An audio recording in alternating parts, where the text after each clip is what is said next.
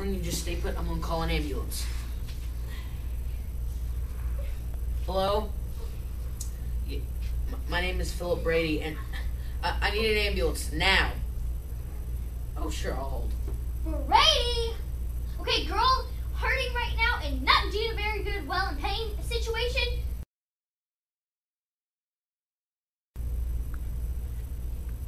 Oh, I got it. The ambulance is on its way. The, Yes? the, The what? it's been three hours and the gymnastics competition was two hours ago. Why did you pick the ambulance? Why? Why?